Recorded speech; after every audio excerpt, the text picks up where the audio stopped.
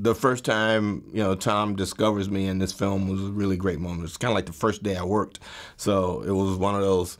Everybody on set was waiting. Oh my God, Nick Fury's coming to work today. It's like, and then I'm sitting there, and then he shows up, and he's having that same kind of, and I'm having the same thing with, oh my God, I'm working with Spider Man today, which always shocks people that I feel that way.